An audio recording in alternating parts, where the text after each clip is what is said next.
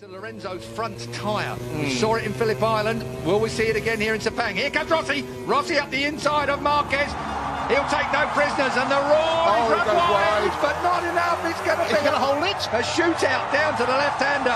Rossi holds it. Marquez wants it. These two, no love lost anymore. It's a straight war I between these two. I did not expect to see Ooh, that. Oh, you see, Marquez lose the rear Marquez there. lost the rear. He got on the gas and round it went. We've seen him down his elbow. He's got problems. He You can't tore- that.